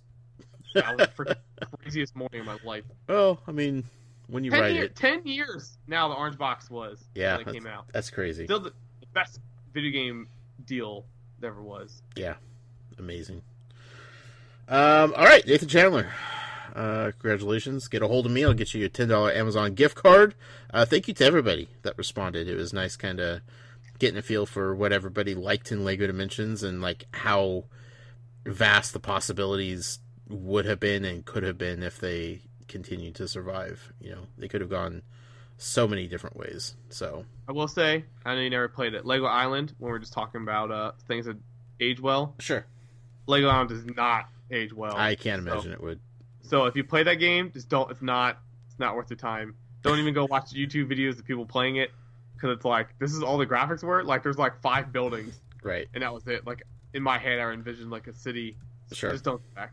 it, it, it- it's best just to keep you at your word and, and just assume it was as wonderful as you said it was. So, Yep. uh, let's do some emails, Jason. We got a bunch of them tonight. Everybody want to talk about Lego Dimensions, understandably so. Um, first off, we had DMU girl wrote in. Hey guys, no quick fire questions, but I do have some things to say. It seems to me that they didn't think through the costing the cost of dimensions. Articles have stated that discounts were a major problem, but the recommended price, particularly for the starter pack, was ridiculous, especially in the UK, as we don't have 20% off pre-orders as an option. Uh, it seems especially poor value when compared to full LEGO games, which have hundreds of playable characters. I don't understand why they didn't use the dimensions, builds, and unique pieces to make normal LEGO sets to help reduce the cost. The response to year two was also as predictable was also predictable as I never expected Ghostbusters 2016 or Fantastic Beasts to become major blockbusters, so why would you bank heavily on them? Also, I think one big uh, I will say Fantastic Beasts like that was destined to be a big movie. So, Yeah. I- if I've learned anything in the last year is Harry Potter fans are crazy. Best best 4K movie I've watched so far. Interesting. I believe it. It looked pretty good. Yeah. Um, also, I think one big problem is that I bought Lego Dimensions because it was a Lego game and I love the mashup of franchises. I personally don't need the figures and would snap up a purely digital version in a heartbeat. The figures always felt like a fun puzzle gimmick, but no vital, but not vital to the game. I enjoyed making the models, but without something like the scanner, some articles have mentioned, the physical Lego seems unnecessary. I live in the hopes that either A, some of the popular franchises, example Doctor Who and The Simpsons, get full games, or B, that they do a digital only game like Dimensions for franchises not big enough for a full game to be put together. I also felt like the multiplayer maps were a waste of time and resources, but I don't have kids, so I may not be the best judge. I will dismiss I will miss Dimensions when I finally 100% it. I still need to buy a Teen Titans Go pack, but I will look forward to all the upcoming Lego games. Yeah, I mean, it is, if you know of anything about Lego games, it's that they have a crap ton of characters, Mm-hmm. and it is it is it's always been the hard sell for toys of life. Yeah. Um, in general, that like they could easily make this game without having to make you buy these figures, you know, and especially Lego with all those characters, um, that now you have to buy to, to play it to get less of a roster, you Right. know. Right. It is it is a hard sell. It's one of those you kind of just have to like ignore the logic of it and Mhm. just go and enjoy it. And like I said, the best thing they made was when they did drop the price of the fun packs. But then the problem is you are now getting charged more for buying a team pack because you were getting the same as two fun packs but it costs more. Yep. Which makes no lot I mean they they, they screwed that up pretty dang well also. Mm-hmm. Um, and so it, yeah, it was just it was just. This, I mean, it's always like you can always point back to one thing, and I, I think 100 percent everybody was just sticker shocked with Lego, and I understand like they have to keep the price at a certain point per se to keep their Lego brand price point also. Yeah. Um, but yeah, like we always said before, never advertised in the actual Lego aisle. Um, As we talked about before, there was a picture I think we I brought up in podcast before. I saw somebody um, tweet out saying, "Oh, this is interesting. Lego's advertising dimensions in the Lego aisle finally." And somebody from Lego Dimensions tweeted them asking what store it was because they want to contact that store. Like, Yeah. you know, like it was a bad move, Right. you right. know. And you know, they could have done things like I, I mean, there, there there are people that shop in the Lego aisle of stores that would never drift over to the video games or Yeah, the toys to life section looking for more Lego stuff. right? And I mean, they could have done. I mean, people would have gotten mad if it was an exclusive figure, but they could have put in a figure in some of the Lego sets. Yeah. You know, Yeah. um, doubled them over there. I mean, it was just weird that you have literally like the top selling toy in the world, and you don't use it. like, Right. I I don't, I don't know. Yeah. I, I I would not be surprised if in the next couple years we get it might not be called Lego Dimensions, um, might be something similar or close to it or whatever, but a just a digital only mashup of franchises that they have the rights to still use in video games. Yeah. Wouldn't surprise me at all. and like I, i'm curious how how much it costs to do like the doctor who level pack per se Right. what if they made those $15 experiences you know what i mean just quick short if they made this for other titles you know for you know stuff that wouldn't really be able to support a full game or they don't want to devote all the resources to make a full game if they just made one where you literally just get to play as a couple of characters like you could in the level pack that was that canon, fifteen bucks and you got to play a Scooby Doo mini Lego game. Or even like five dollar, like five dollar level packs, or like Yeah. sell a season pass. You know, like this game, one hundred percent could work in a digital version. Yeah. and I think it would be fun. It'd be a lot of fun. Yep. And you could add more playable characters that way, because Right. that's what limited it is. Like they weren't going to put out, you know, eight hundred Simpsons characters to buy because nobody would ever buy that many. But you could put 800 Simpsons characters into a digital only version and be able to play as all those characters. Yeah. Be super fun. So, yeah, I I, th- I think there's um, potential for it to to create something else in the future. Um, but I think they they need to distance themselves a little bit from the Lego Dimensions that we know of right now before they do anything else to avoid confusion and whatnot. So Yeah, the biggest bummer about it all is just still like I just wish we would have gotten a Vortech figure just because how cool it would have looked like in the flesh. Yeah, would have been cool. Uh, next emails from Ben Anderson. Hey guys, it's Ben Anderson. I just wanted to say thank you to the both of you for keeping us all updated on LEGO Dimensions. I know it must have been hard, especially when people tried to argue with you about it, but it's very appreciated that you guys informed us for updates. I would have never known much about the game if not for you guys. For anyone who did not know, I am also LEGO Dimensions News um, at Dimensions News underscore on Twitter. And the reason I made the account was I wanted to keep people informed about a Toys to Life game like you guys do. Thank you for inspiring me to make an account, and I was also able to meet so many new people thanks to you guys. So thank you. I never imagined uh, I would have over 700 followers, and I owe them all to you guys. Thank you for the past two years of fun I could have with this game. Thank you, Ben Anderson. Thank you. Yeah. Um. Next up is our friend Green Armadillo. Yes. Um, I do have to check on something here real quick. Uh, okay. It says, "Dear gentlemen, are you guys doing anything for PAX Unplugged? I seem to recall J- Josh was eyeing tickets on the air when they went on sale. Uh, if you haven't seen Lightseekers, um, the card game is hosting sanctioned tournaments. At PAX West, this was a good deal, where sealed deck tournaments guaranteed more Lightseeker stuff than the cost of the entry fee. Uh, I am hoping to get the chance to wish SCL Delivery Crab Matt a happy birthday, and the more the merrier. Um, it is something that I definitely wanted to do. I just don't think it's going to work out for me um, to get out there that time of year uh, this year. Um, it's been crazy around these parts lately, uh, so I'm going to be missing it. Jason, are you gonna venture into Philly? It it depends. I'm hoping to. Um, we know Matt is going to be there. Yeah. Um, and I'm sure he's going to enter in that tournament. Um, so I'm hoping to be there on one of the days. Um, one of the game, I think it's senior night for Penn State that weekend. So I might be going up to that. I haven't heard yet if I'm going up to that week or not. So it all depends on that. Gotcha.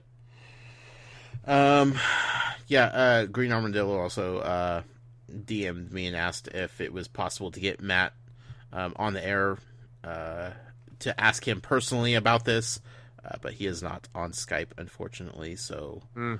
Mm. not going to work out. But yeah, I, I, know Matt is going for sure. Um, I'm sure we'll have an episode before then, so maybe we could have him on the show then to talk about what he's going to be doing, where people could find him and hang out and, and that kind of stuff. So um, yeah, uh, I hope everybody that is going to PAX Unplugged has fun. Uh, it definitely there isn't a lot of hype behind it, which I think the people attending are probably okay with. Right. You know, yeah. smaller, more intimate for the people that really just want to go and, and go what they're going for. So, should be fun. Did you see? Uh, um, Delivered Crab got mentioned by Lightseekers itself. Uh, I did see that, yeah. So congratulations to Matt for being the official unofficial resource for they recommended for buying individual cards. Yep. yep. Um, also saw one of the developers of the game bought cards from him. So yeah. um, cool stuff. So yeah, if you're into the game, definitely take a look at it. Yeah. Uh, next email is from Jeff Grimes. Uh, hey guys, since we were talking Lego tonight, which dimension set would you like to see made into a full size Lego set? Set, not game, set. Ooh. Personally, I would like the A Team van uh, with all the guys, or a giant Stay Puft Marshmallow Man. Mm. Yeah, I was thinking, I was ready, thinking game. I was all ready to go for Scooby Doo. I know. But, I know. Um, I mean, you said the Hogwarts castle. Like, I can't get my mind off of that right now. So. That's true. Yeah. Um. Yeah, A Team van would be nice. I always liked like the, um, the vehicles they've been doing recently. They've been really nice, high quality. Because a lot of times it's like Legos like best sets they do are vehicles because it is hard to do like a building. You know, because either a you have to use your imagination a lot, mm-hmm. or b they have to go like over the top. Right. Um. But yeah, I, yeah, I would, A Team van sounds interesting. Yeah. I'm trying to think what else would be. I mean, they did the Simpsons building. Um. Yeah, or the like, like I said, the Hogwarts Hogwarts Castle would be awesome. Or you know what would be cool? The um, the Emerald City. Oh yeah. You know Mm. that could be big and really cool. Mm. Mm. Um, cool. Thanks, Jeff. Next email is from Guadalupe. Hello. Just wanted to let you guys know that I'll totally listen to anything you guys decide to do in the future.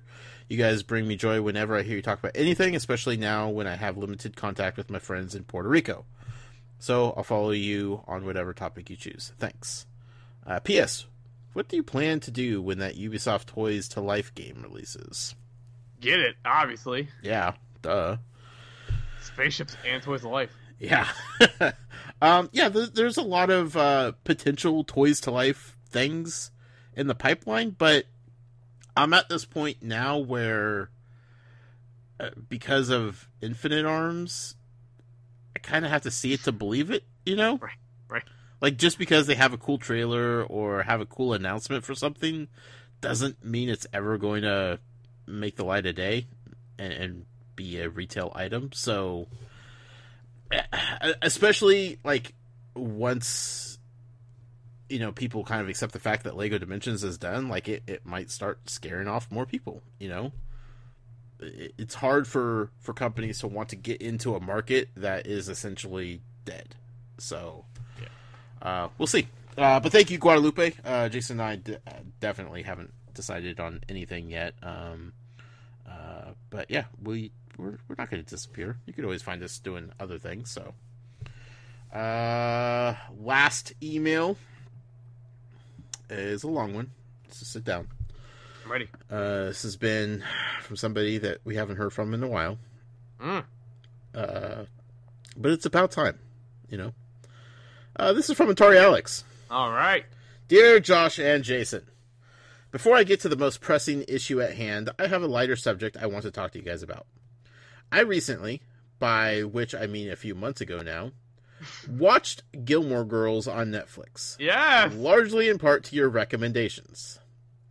I have to say that while I enjoyed many elements of the show, some of the characters made me really mad with some of the things they do later on in the series. but that just goes to show how invested I was in the characters, which I guess is what any show tries to do. Also, in my opinion, a year in the life did nothing for me and was pretty unnecessary. Also, also, the Gilmore Guys podcast is pretty great. I don't know if you've ever heard of it, but I would suggest you check it out. Totally have heard about it. Totally have been recommended it. Um, definitely want to check it out. I don't know why I haven't yet, but I, I will say this about the year in the life thing. I think it hit home with a lot of people uh, because there were so many people that had already watched the series and were just clamoring for more. Right. If you were just now getting into the series, there was nothing special about that. Right. You know, um, kind of like uh, Will and Grace being back now. Correct. uh, Val is currently like rewatching all the old Will and Grace and like powering through it. I'm like, that's cool. It's going to be weird to watch this new season though. Like when Yeah. we get to that point. Um, but yeah, it, it's it, it, a year in the life little miniseries was definitely for the fans that were already fans. Did you see the stats that apparently, and I I don't know hours combined, you know, compared to, to other shows. Uh, Year in the Life was the most watched in its first 24 hour span of any Netflix original TV show. Really? So people watched all of them in the first 24 hours. Um, and they said about like there's there stuff, but the one I found interesting. There's five Netflix subscribers who watched all of House of Cards within the first 24 hours when it came out. There's five people. Wow, that's impressive. Uh, Those five people were probably reviewing it. Yeah, I would think so. Yeah. it- It's a it's a heavy show. hmm I can imagine watching it back to back. No, I didn't even finish the last season. I got I'm done with House of Cards. It used to be like my favorite show, but I'm done with it. yeah, it's it's tough. Um, Alex is not done. Okay, enough prolonging the inevitable. Let's get serious. Too soon? Yes, Alex, it's too soon. You know it's too soon. I already yelled at you on my other show about it being too soon. Stop it. Stop with the serious jokes. I'm not ready to move on.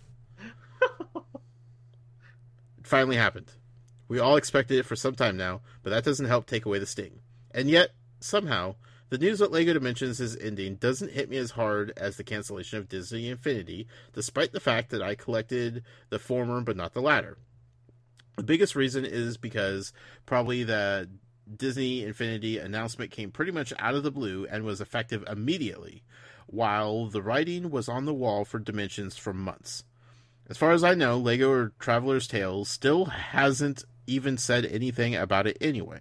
It's like if they refuse to acknowledge if they could just pr- pretend like it never existed. But as people on Twitter have pointed out, it's not all bad since TT could go back to devoting all of their attention to their other LEGO property games, which I'm a huge fan of. Um, and yeah, I, I do want to say, like, as we said before, like the cancellation of Disney Infinity did come out of nowhere. Um, it shocked everybody. Like there were a few people internally that like knew maybe hours before it happened, maybe a day. Right. Uh, and it was effective immediately. Like all future content was like they were in the middle of developing more stuff and got canceled. I'm pretty sure nobody is in development for anything Lego Dimensions related at this point, you know. Um, and everybody lost their jobs. Like that was a horrible thing. Except JV, who got everybody's income and is now just globetrotting the world with all of that money that they don't have to pay people that made the game. So that's cool. I rewatched that. Um, uh, remember when they made that special, the preview of what's co- to come that year? Mm-hmm. Um, I think on Disney Infinity Next or whatever they called that special event. Remember that whole thing? Yes, yes, yes. I watched it again the other day. So good. Yeah. JV. Uh, now for an actual question. At this point, we've seen two Toys to Life franchises die, with Skylanders petering out slowly but surely. Even Amiibo don't come out as often or with as much frenzy as they did in their heyday. Others, like Lightseekers, have tried to step in, but it seems that no one can capture the magic like Skylanders did all these years ago. Is this the end of the genre? Are consumers fed up with physical DLC? Is there anything companies can do to reframe public opinion? Was this just a passing fad we all knew was going to end eventually? Or could Infinite Arms be the savior of the Toys to Life genre? Infinite Arms train, man. Get on it. Yeah, I I think it's it's. We, I mean, we've said from the beginning of this podcast that it was going to be a phase and it was going to end eventually. Um, yeah, I think it's a year earlier than we thought it was going to be, but um, it's you know it's, it's not surprising anyway. But I mean, a lot of people directly compare it to Rock Band and Guitar Hero, and I think it's a fair comparison. Yeah. Um. So and, and they tried to come back, and people were just not receptive to it. Yeah. So yeah, it's. I mean, there's going to be something else down the line that's going to be the next thing, but Mhm. who knows what that is? When we started this show, we said that this was going to end. You know, um, the genre would not last forever. Um, it was a bubble. The bubble would pop. We've said it all along. Uh, we're not surprised by it. We're sad by it, sure, but we're not surprised. Um, Lightseekers, I, I still, it still feels to me like they used the Toys to Life market with the figures and the mobile game as just a way to get into the card game. Yeah. Like it seems like where all of their attention is, even still. Um, which hey, I mean uh, they branched out their like they put out cool things. I just I don't see the talk about their figures or the mobile game as I do with the card game. Right. Or maybe they just pivoted. Maybe they just saw, you know, what the market did How when well they released going. everything, and they said, "Okay, this is where we need to go." If that's the case, good on them. Uh, but yeah, um, are consumers fed up with physical DLC? I think consumers are fed up with any additional content at this point that you have to charge them for. Like you see the outrage with like these loot boxes in games like the last few weeks. Like every website, every podcast, that's all they're talking about. You know, are loot boxes and blah blah blah blah and eh, we are transitioning very quickly into an all digital uh, Mhm. form of media and collecting toys to go along with your digital media just doesn't work the way it used to six seven years ago so um yeah uh, is this the end i mean i guess that really depends on if you count amiibo as toys to life you know some people still don't count them as toys to life and if that's the case then yeah this is probably the end um, and Nintendo will continue to put out amiibo until they just get bored with it. Right. you know, they could put out two or three for a game, call it good. Put out two or three more in a couple months, call it good. They're Nintendo. They Nintendo does whatever Nintendo wants to do at this point. Did you did you read up on the um the whole internet went ablaze Monday night about that Activision pan, patent Monday night Tuesday night whatever it was about the matchmaking with the microtransactions? Yeah, yeah, But when we're talking about like the DLC stuff in 2015, um, Activision made like one point something billion dollars on in-game sales. Last year they made 3.6 billion dollars, yeah, which is nuts. And like again, I mean, we talk think how much money Pokemon Go makes, or I mean, even like Duel Links. I spend probably ten bucks a month on that. sure. Um, and I mean, again, I know we're getting sidetracked with it, but like that EA canceled that studio um, that was making a Star Wars game. It sounds like they're going to make like a shared experience like Destiny, because again, unfortunately, it's going to make a crap load more money than a single player experience is going to be. Mhm. And I think the same that's what's going to happen with this physical figure. They can make, they could sell those, you know, the characters for Disney Infinity at what five bucks a piece, and probably sell a bunch more than they could the physical one Yeah, uh, which is a shame, you know, because I, I don't like buying, like I still DLC itself, I typically don't buy. Yeah. Um, Zelda's done well, and like the Mario Kart one, like I those were a little bit different. They Mhm. felt more stuff, but some of the games where you get DLC like two weeks or a, a month after the game comes out really rubs me the wrong way. sure. And like I remember the days like when you would get an expansion pack for like a PC game like a year later. Yeah. You know, and Yeah. that's DLC with me. But like, and it, I know it's an argument people make back and forth like what is the full value of your game. But like if something comes out a month later, it could have been in the core game. You know. Yep. And stuff like that just rubs me wrong. Yeah, so that's the thing. Like it and digital stuff. Um, you know, I I. I, it's why I haven't really made the switch over to digital entirely. Is just because it's that if it's gone, it's gone. Yeah. You know, like as soon as they close that stuff down, you can't get to it. Right. Um, I, I like my DLC, like you said, like later on, as a way to bring me back to a game that I loved. Right. You know, like I haven't touched Breath of the Wild in months. I put over 200 hours into it. I haven't touched it in months. But when that new DLC drops, I'm going to be so excited to go back and play that and, and start that game up again. You know, sure. And that's what I like from my DLC is a reason to go back to games that I really liked, not as a way to just add content to a game that I just got. Right.